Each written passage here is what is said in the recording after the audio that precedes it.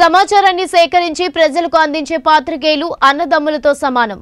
వారు కూడా ఇప్పుడు ఉన్న పరిస్థితుల్లో పోలీసులు డాక్టర్లు పురపాలక సంఘాలతో పాటు పాత్రికేయులు కూడా కష్టపడుతున్నారు. అనంతపురం జిల్లా ధర్మవరంలో ట్రెజరీ కార్యాలయంలో సీనియర్ అకౌంటెంట్గా విధులు నిర్వహిస్తున్న పెనుబోలు శంకర్ పాత్రికేయులకు నిత్యావసర సరుకులను వితరణ చేశారు. ఈ సందర్భంగా ఆయన మాట్లాడుతూ పాత్రికేయుల మాకు సోదరులతో సమానం. కరోనా వైరస్ ప్రపంచ దేశాలను వణికిస్తున్న సమయం ప్రభుత్వం తగు జాగ్రత్తలు కూడా తీసుకుంటున్నది కాబట్టి మిగిలిన దేశాల కంటే భారతదేశంలో వైరస్ ప్రభావం తక్కువగా ఉందన్నారు. పోలీస్ డాక్టర్లు శానిటేషన్ వారితో సమానంగా పాత్రికేయులు పనిచేస్తున్నారన్నారు. పత్రికా మిత్రులకు అందరికీ నా నమస్కారం.